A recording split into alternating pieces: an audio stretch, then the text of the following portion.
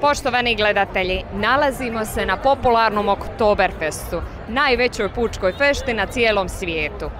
Pogledajte što su naše kamere zabilježile na nikad skupljem Oktoberfestu.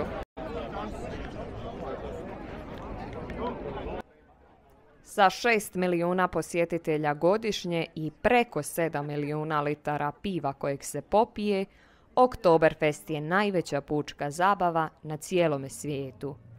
Ova bavarska tradicija s kratkim prekidima zbog ratova i pandemija traje još od davne 1810. Naime, te godine su se vjenčali prestolonasljednik princ Ludvig od Bavarske i princeza Terezija. To slavno vjenčanje održalo se 12. listopada 1810. i otac se svake godine slavi iznova. Danas Oktoberfest obično započinje trećeg vikenda već u rujnu. Iako sam naziv implicira na listopad, razlog za početak fešte već u rujnu su preniske temperature u listopadu, što je dovodilo do toga da se u listopadu popije puno manje piva. Fešta završava prve nedjelje u listopadu. Slavi se na livadi koja je dobila ime po princezi Tereziji, takozvana Terezijen vize.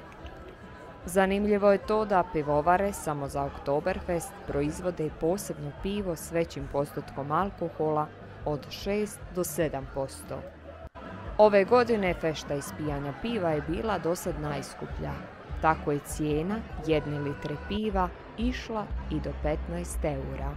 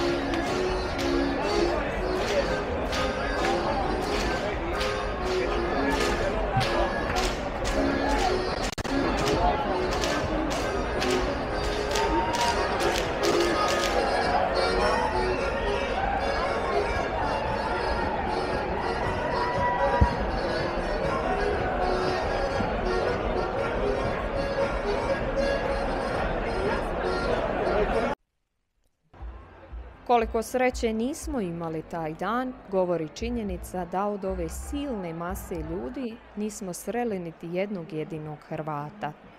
Stoga smo odgovore na pitanja o dojmovima s ovogodišnjeg Oktoberfesta potražili na društvenim mrežama. Pa smo pitali skupinu Hrvata u Minhenu što oni misle o ovoj svjetski popularnoj fešti. Evo što su oni rekli. Mirjana Rapajić Tkalec kaže U 25 godina života u Minhenu bila sam tri puta, zadnji deset godina jedno. Bez veze je meni sve pijano i ludo. Preskupo uvijek bilo sve, a sad su baš pretjerali. 15 eura pivo koje košta u trgovini euro i pol. Čista pljačka naroda. Ali eto, dok ima ovaca, bit će i vune. Eduard Gold Kevesić smatra sto ljudi, sto čudi. Meni je to seljački dernek. Da, baš dernek i najgore od Njemačke. Preskup. Općenito skem, ali ne sudim nikoga. Ko voli, nek izvoli. Martina Neumayer komentira Ja svake godine bar dva puta idem na Oktoberfest. Na večer je teško ući u bilo koji celt, ali mi idemo popodne, to jest na ručak i onda šetnja kroz cijeli Oktoberfest. Ponuda je super, cijene jesu visoke, ali Oktoberfest je nešto posebno i pripada Minhenu i svi jedva čekamo da počne, jer je jednostavno neka posebno lijepa atmosfera u cijelom gradu. Živio nam Oktoberfest vječno. Marko Braco misli postalo preskupo i prenatrpano. Oktoberfest je izgubio neku svoju čar. Irma Banić, koja svake godine posjećuje Oktoberfest bez obzira na cijene, smatra da su ljudi tada otvoreni, veseli, pristupačni i da je lijepo što održavaju svoju tradiciju.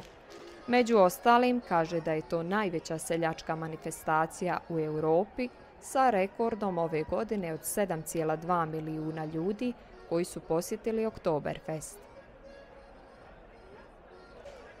Josip Čarobnjak komentira. U odnosu na prije 20 do 30 godina nije to to.